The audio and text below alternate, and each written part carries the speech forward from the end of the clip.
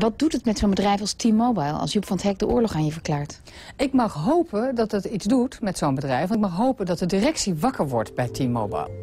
Antoinette Herzenberg is presentator van het consumentenprogramma Radar... en kent als geen ander de wereld van de helpdesks en de klantenservice. Een helpdesk tegenwoordig is totaal onpersoonlijke organisatie. Een helpdesk-medewerker heeft vaak geen enkele relatie met het bedrijf waarbij men werkt.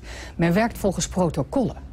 En zolang een protocol gevoerd kan worden, ga van stap 1 naar stap 2, dan gaat het nog wel. Zo gauw iemand een klein probleem heeft wat buiten het protocol valt, is iemand eigenlijk in het hele helpdesk systeem reddeloos verloren. Als consument alleen sta je volstrekt machteloos.